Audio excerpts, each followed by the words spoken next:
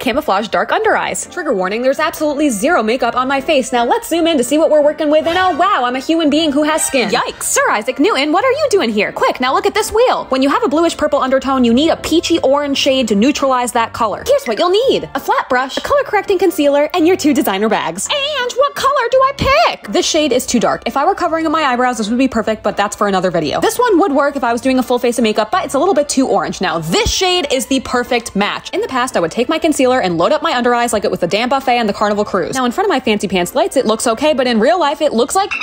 So what happens next is I go to the mirror and put on more because it didn't fix the initial problem. Instead, get your color correcting concealer and your little brush and watch. Be very strategic like Bob Ross. Look at how much product is on my brush. Only put it in the darkest spots and put it where you don't usually crease. This is even before blending. Now blend, blend, blend. Before and after. Look at that. No creasing. And now this is how it looks in other light, in fridge light, in microwave light, and in flashlight. Okay, bye.